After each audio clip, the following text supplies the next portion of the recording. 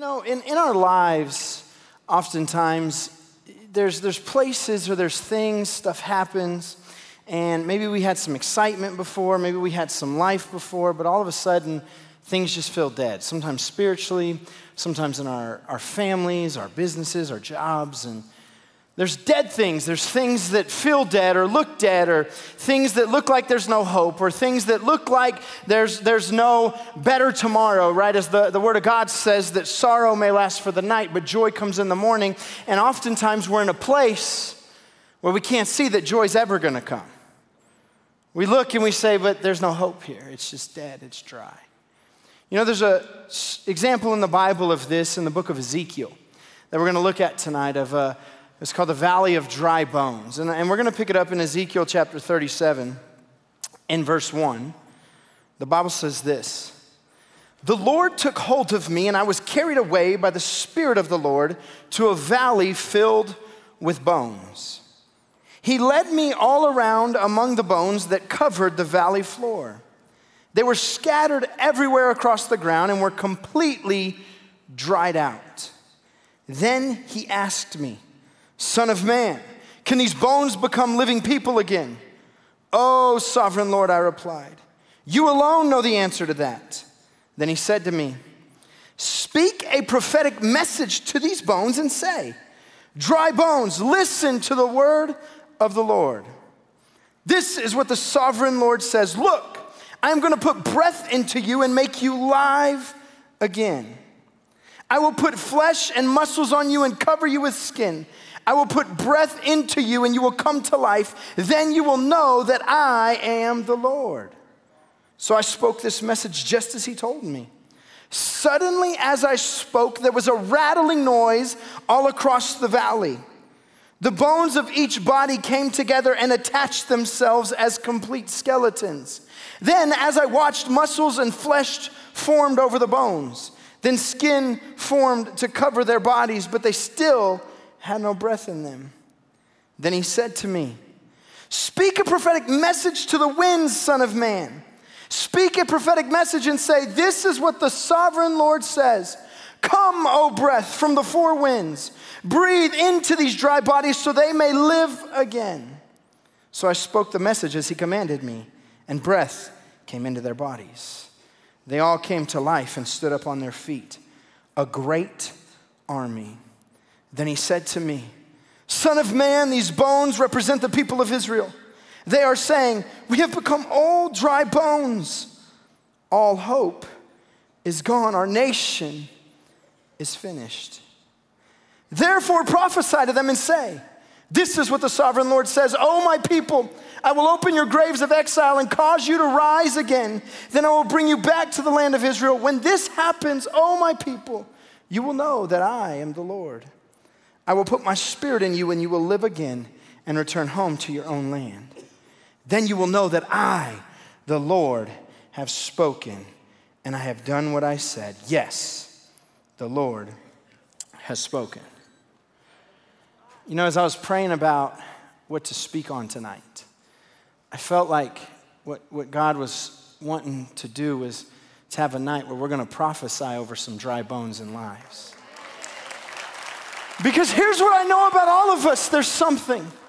There's an area that's dry. There's an area that looks hopeless. There's an area that, that, that, that, we're losing heart. Maybe if we're parents or grandparents, we have children that aren't serving Jesus or children that are sick or going through some things. Maybe it's things in our relationships. Maybe it's things in our job. Maybe it's spiritually. And we're looking and we say, but there's no hope. I don't see God doing anything. I, I don't, I don't see it. And a lot of the times when we're in that place, all that's coming out of our mouth is death. You see, in this passage, the first thing we see is a valley of dry bones. We see the death, we see the destruction, we see the hopelessness. We see it, and it's the Bible says it was scattered all about. How many of you sometimes just think about it in your life? Have felt like, man, I'm just overwhelmed and it's a mess. There's so much. There's this or there's that. Or, or maybe, maybe things are going so well in one area, but all, in another area, man, it's just chaos. Maybe your work is going well, but your personal life outside of work is just a mess. And all we see is hopelessness and, and dry bones and a valley of death. And it, when we're in that place, it's hard to speak anything other than what we see. It's the people who say, I just call it like I see it. But we don't serve a God who just calls it like we see it. We serve a God who calls it like He sees it. And where you and I only see death and destruction and hopelessness, God says, if you'll speak my word, if you'll start believing me over the circumstance, if you'll start believing me over the death that you're seeing, I can bring life where there's death. I can bring something new, but it starts with what we speak. And if we're not speaking the word of God over the situation, there can be no more hope. If we're only calling it like we see it, it sounds good, but Pastor Stevie, there's, it's death. It's, it's, it's terrible. It's awful what I'm going through. It's, it's not fun. I don't enjoy it. What does he say to Ezekiel here? He says, Hey, here's what you're going to do. You're going to look at those bones and you're going to speak a prophetic message to them. You're going to, you're going to tell them that they're going to come alive.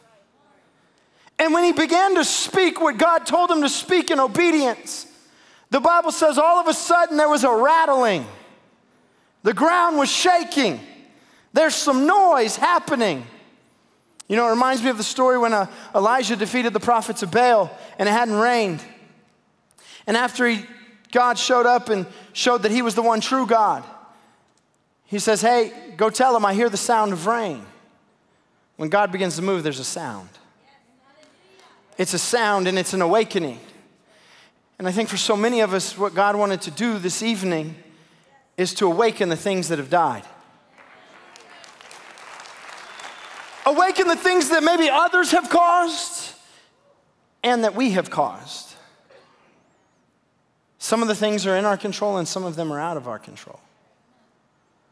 Some of us look at some things as dead in our lives because of ways we were raised because maybe we were in a, a, a, position where people responded horribly.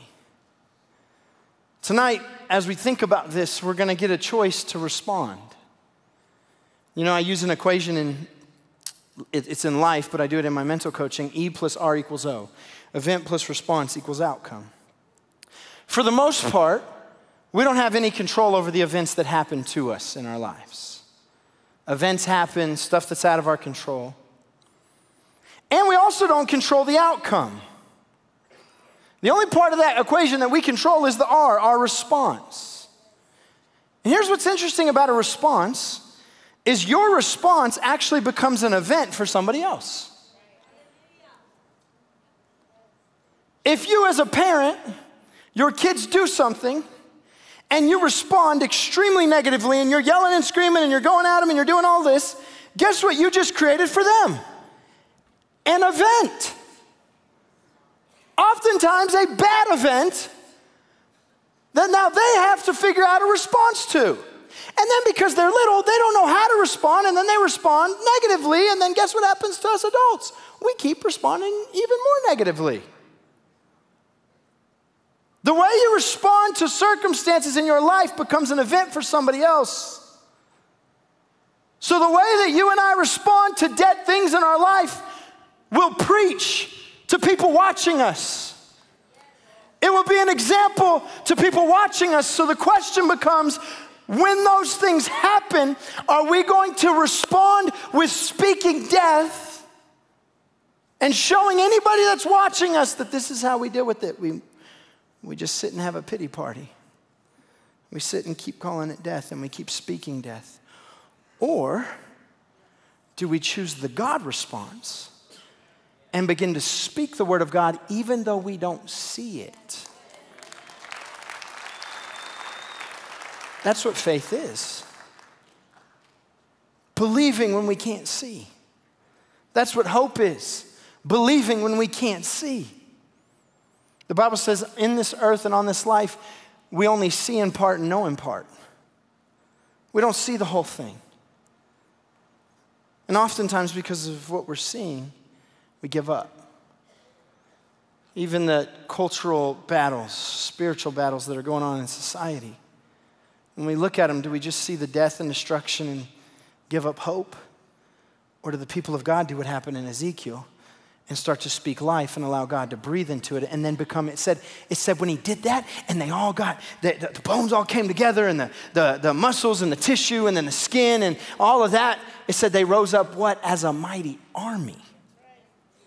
So what happens is when you see death, but you choose to speak life over it and to believe life, what happens is the person next to you that's also attending church with you or around you that's a believer in God starts to see your faith, and their faith is now encouraged, and they begin to speak life. And then the next person begins to speak life, and the next person begins to speak life, and the next person begins to speak life, and all of a sudden, it's like a domino chain reaction and the entire valley of death becomes a place where we're praising God and speaking His word over the stuff, over the death, over the setbacks, over the circumstances. That's what he was telling Ezekiel here. He said, I know you see the condition. These bones that once had life, these bones were there because before they did have life. But because Israel had, was in exile and is in exile, there was hopelessness. Where's God? God's left us. Let's just do nothing and die. So before there was life on these bones, and now all of a sudden they're lifeless and they're scattered. And sometimes that, our spirits can truly feel like these dry bones. Anybody ever been in that place, man, where you just feel like your spirit is just nothing there. I've been there a million times. Where it just feels like, man, I'm just dry. Maybe it's your dream that's become like dry bones. Maybe it's your relationship, your joy, your peace, your faith. But I need us to remember that our God is a specialist, and He's a specialist in bringing things back to life. So, first, we have to understand in this story that God has power to revive and restore. There's scriptures and things we're going to take back what the enemy stole. I remember singing a song as a kid, uh, and we sang it in church like, I went back and got what he stole from me. I went to the enemy's camp, and uh, y'all know, y'all, some of y'all remember that song? Some of y'all OG church? Yeah. Some of you vets. I don't, I don't even think I sang it right because I haven't heard it until right now. It came back in my head like, I remember that song. We're going to march up in there like an army and just take back what he stole from me. And we used to sing it with some passion in church. Man, let me just tell you something. Worship music today is so much better than when I was a kid. Some of the old people in the room are like, oh no, this stuff, this new stuff. Oh. I just, I just don't like it. Well, I do. And I heard some of y'all's old stuff. But I remember it because it had a lot of good word in it, but you know, the, the, musical compilation wasn't always the best.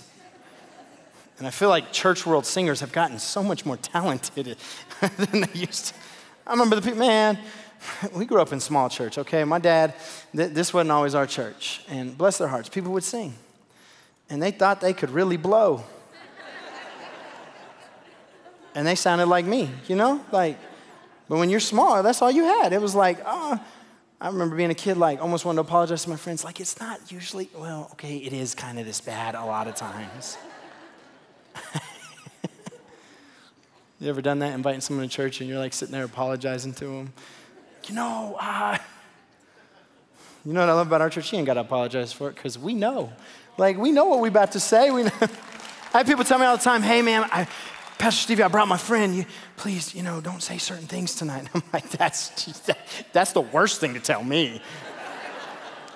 I'm a preacher's kid. Like, I, I'm Nemo. You told me not to touch the butt, and I touched the butt, okay?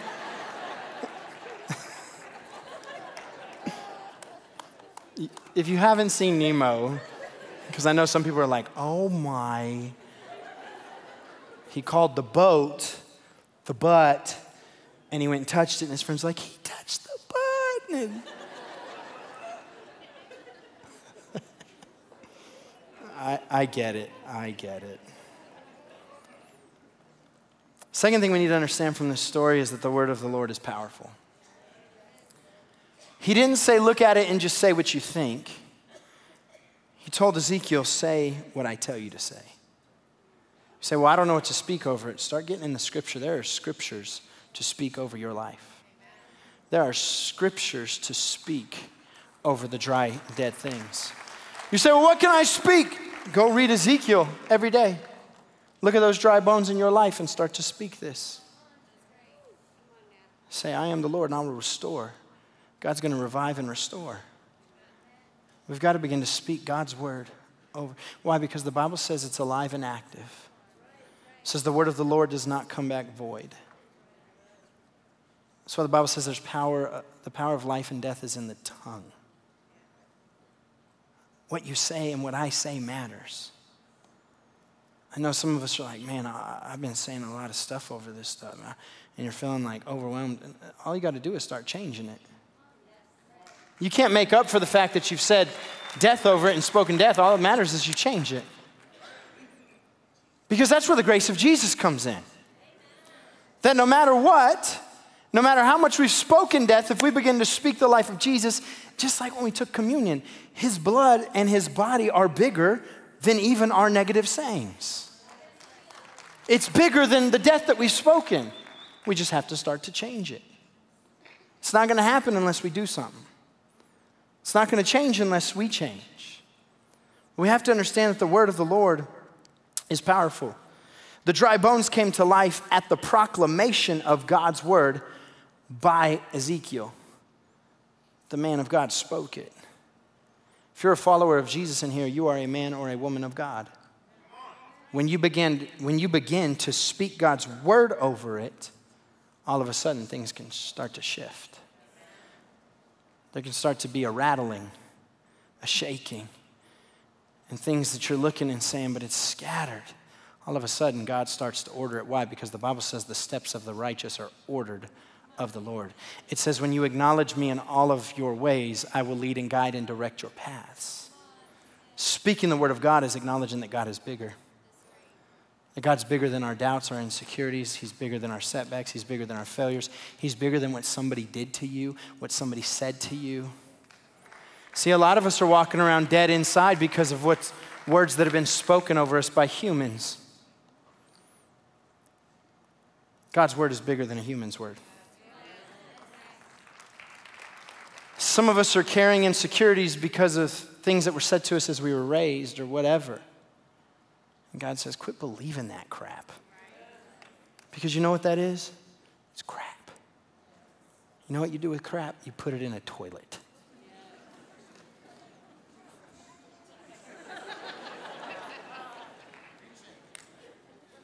And you know what you do once you put it in the toilet?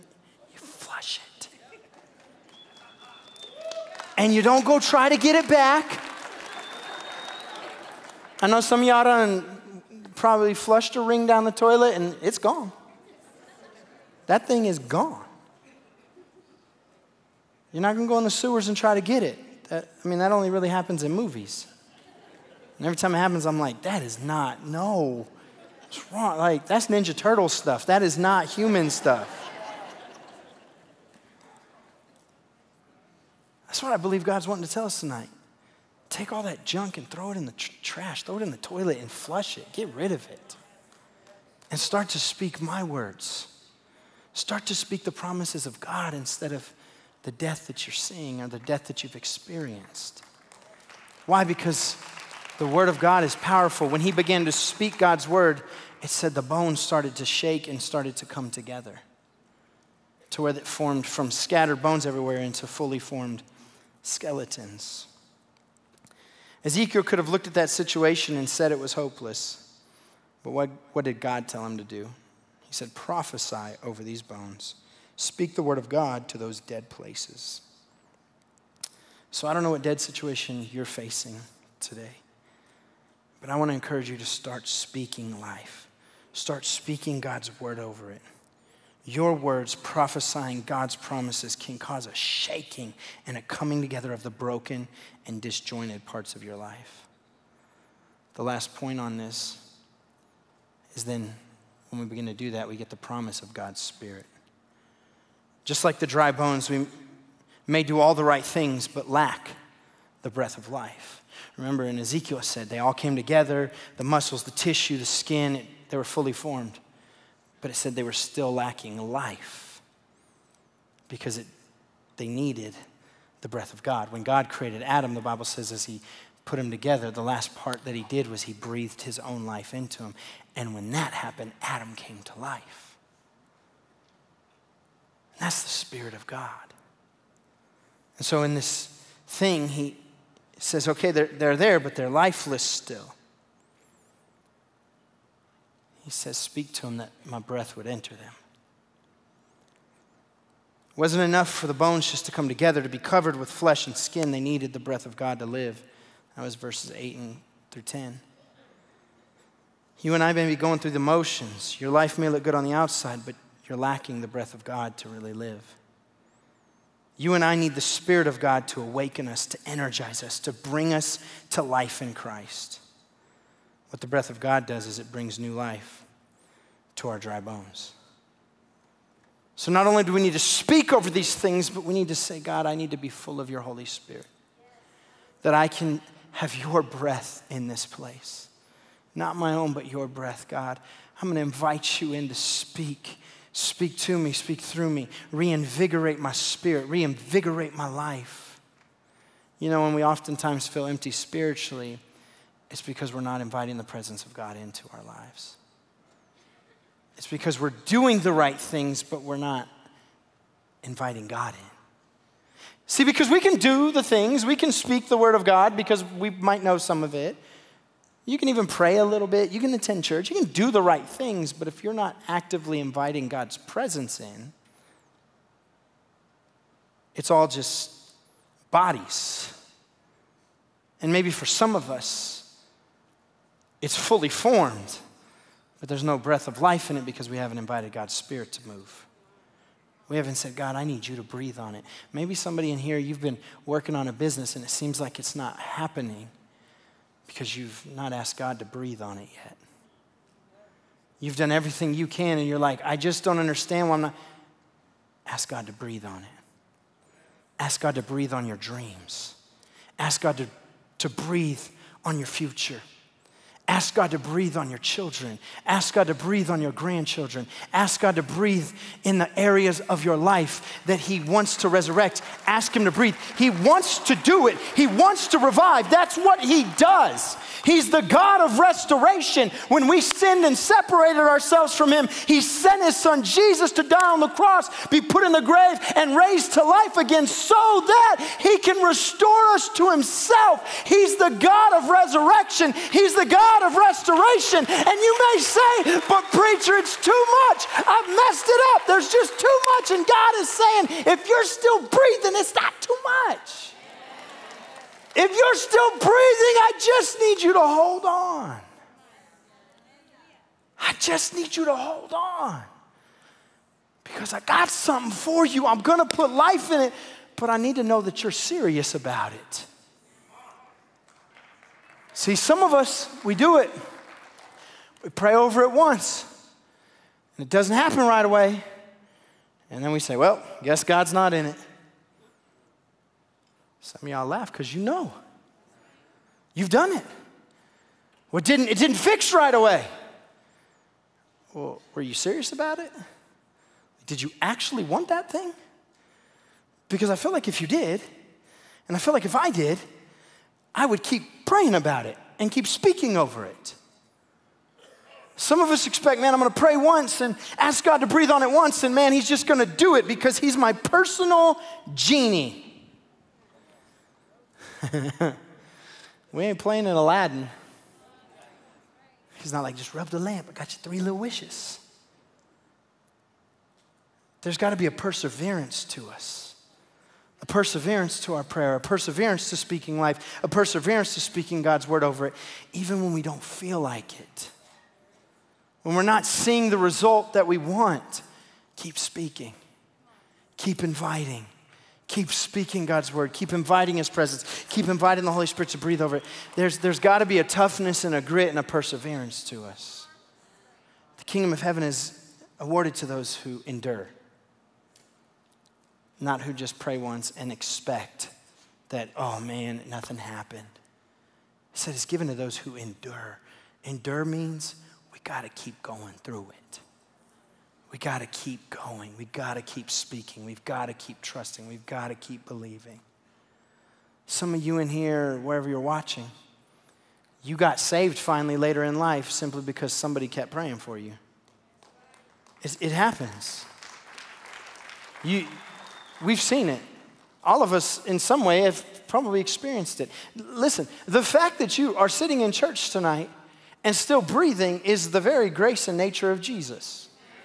And each and every one of us are here tonight because somebody prayed, because somebody believed, because somebody thought enough of you to either raise your butt in church or to invite your butt to church and said, You're going to sit your butt in this seat next to me, and you're going to listen to this crazy preacher. We're all a result of somebody that didn't give up. So then I always ask, who's counting on you to not give up? Who's counting on you to keep speaking life? Because if you give up, everybody watching you is going to learn the habit of giving up. God did not create you and I to be quitters. He created us to be champions and conquerors and overcomers. It says we overcome the evil one by the blood of the Lamb and the word of our testimony. Another way to look at our testimony is the blood of the Lamb and our scars, our battle wounds, our hurts, our pains that we've overcome, that we've had faith in God and God saw us through. That's how we overcome the evil one because when he comes back, we say, hey, you thought you had me. This hurt. I got a nice little scar right here. But you know what that is? It's a scar. You know what a scar represents? That it was once an open wound, but I kept staying connected to Jesus, and because I did that, He began to stitch it up. And it scabbed, and then it peeled, and now it's a scar, and it's a representation of something I overcame. I've had, I've had four major knee surgeries on my left knee. So I got, I got a nice scar. I mean, it's nice. A big old scar.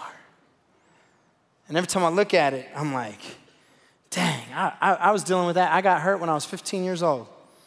I've spent a lot of years with a bum knee. I was 23 years old and they were talking about a knee replacement. I was like, I thought that was only for people like 60 and above. And then they're like, oh, by the way, you were born with a birth defect. I was like, oh, thanks. Actually, what's funny is the first doctor that looked at it, he, he thought he was really smart spiritually. It was cute. Old, old guy. He didn't come to our church, so it was real cute. But I went to him and he looked at the x rays and all that. And he, he, instead of just admitting that he wasn't good at what he does and that he couldn't find it, He's like, man, I'm looking at everything and I just can't figure. He's like, you know, Stevie, this just might be one of those things, you know. The Apostle Paul had a thorn in his flesh, and maybe this is just your thorn. I mean, guys, I was 22, 23 years old. You think I'm mouthy now? I was way mouthy back then.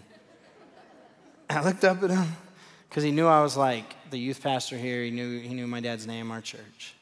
So he's trying to give me this whole Bible lesson, old guy. I remember looking up at him and I said, I'm Henri. So I said, Sir, and I didn't say with all due respect because I didn't have any at that moment. at least I said, Sir. I said, Sir, let, let, let me just help you. Don't ever try to quote the Bible to me because you can't figure out what's wrong with my knee. He just looked at me. so I said, the, the, the, the, it was New Mexico Orthopedics, and they have a bunch of doctors. So I said, I want a different opinion. Like, I want to see somebody else. You know what's interesting about it is because I was frustrated about my knee and just my whole life, it, it caused a lot of issues for me. And so I was frustrated about it. For me, it was a dry bone area of my life. And so after his very educated opinion um, and biblical lesson, I said, I want a second opinion. But I did something specific between his appointment and the next one. I began to pray differently. The first one, I really wasn't praying. I was just mad. I was frustrated. I'm like, I keep getting hurt. I actually heard it. I was training for a jujitsu tournament, and um, Pastor Joe, actually, over at East Campus, was trying to show me some wrestling takedowns. And unfortunately, Pastor Joe doesn't know how to like show without breaking things. And so he shot in on my, on my left leg. I'm not ready for it. It's dark. We're in my parents' backyard in the grass. I'm just kind of standing there, and he was like showing me something, and I didn't know he was about to attack me. And he comes up, and he, he just, and my, my, my shoe got stuck in the grass because of the friction, and pop. You should have seen the look my dad gave him. my dad was like, what, what, what just happened? Because he knew I, I, I'd already broken this knee so many times. He was like, again. Poor Joe, he's like, I just, I just, I, I just. I,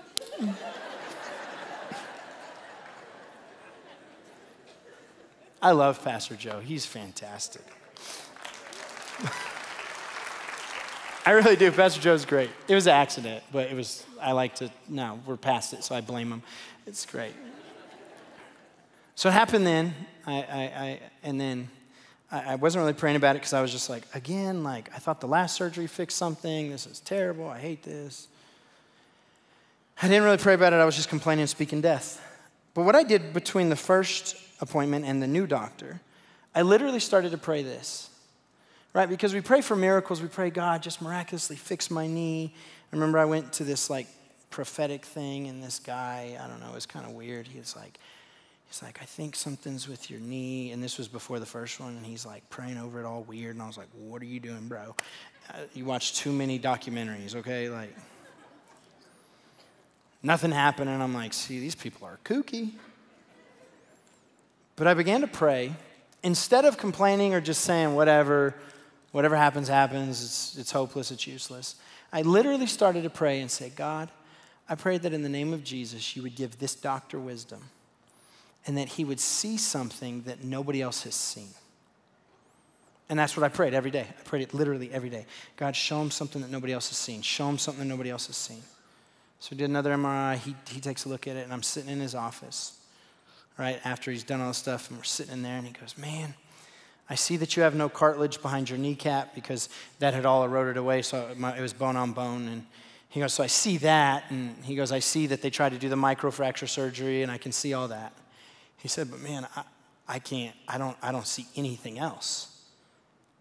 And I'm like, Crud. Nothing? And we're sitting in there, and it was the coolest thing. I, this had to be a God moment because this is what I was praying it, it's just wild to me because I'm sitting there on the, the bed in the, the, little, you know, doctor's office, and he's standing up and he, he, he's like, Yeah, I don't see anything. And he just starts staring at the pictures. I'm like, Well, and I'm sitting back there like losing hope, like, Oh, crud. This, this is just knee replacement. Like, we're going to have to figure something out. He looks at it and he goes, Wait a minute. I was like, What, what, what wait a minute. He goes, I see something. And I'm like, What do you see? Like I see it too, but I don't know what I'm looking at. I just, I can tell that's an MRI of my knee, but I don't know. And he goes, Your kneecap is misaligned. He goes, Literally, that's a birth defect. He goes, So your problem is that we need to do a surgery to fully realign your kneecap and then put some cartilage in and do it. It was a major surgery. And he's like, It's gonna be a big surgery, two year recovery, like crazy. But he was like, I see it. And it was funny to me, and I, it really built my faith because I was like, at the last moment, like I'm about to leave the doctor's office because he said he didn't see anything. And I'm like, well, at least he was nice about it and didn't try to lecture me biblically, okay? And he, it was no lie. I'm sitting there and he just, I see something. I was pumped because he saw something. And I literally said, man, God, because I trusted you, you showed him something that could help me. Now, my knee still struggles, whatever. I mean, we all have something physically all the time. Because even if God miraculously heals you, you understand that you're still one day closer to death. Like, we're still dying even if He fully heals us. Because the Bible says it is appointed for man once to die. Our bodies are slowly decaying, but our spirit is what will live forever. And I just thought it was interesting to me that, man, God, even, even, even something that some of us could say, man, that was small. In my world at the moment, it was big. You may think that your thing is too small for God, but it's not. And if you'll speak life, He can bring other people across your path that can see something and help you get to the next level if you're willing to speak life where there's been death. If you're willing to look at the dry bones and say, hey, you got to come together. Death is not the path that God has for me, He has life and life to the fullest. That's what Ezekiel was saying. I'm going to do two things tonight. The first one is maybe you don't have any life in your life because you've never accepted Jesus as your Lord and your Savior. You never asked Him to come into your life to change you, to transform you, to help you, to heal you. And maybe tonight you need to say, for the first time, Jesus, I give you my life. Be my Lord, be my Savior. Maybe you've given him your life before, but you've walked away and you say, Tonight, I need to recommit my life to Jesus. I need to say, Jesus, I'm going to give you my life. Be my Lord. Or maybe you just say, Preacher, I don't know if I'm right with God. I don't know if I was to leave the earth, whether I'd be going to heaven or hell. And I don't want to leave tonight not knowing that I'm right with Jesus. If you would bow your heads and close your eyes with me, if that's you, and you're watching here at any of our campuses or online, you say, Preacher, that's me. I need to give my life to Jesus. I need to ask Him to come into my life to help me, to forgive me to be my Lord, to be my Savior. If that's you and you're in either one of those places and you say, Preacher, would you just include me in your prayer?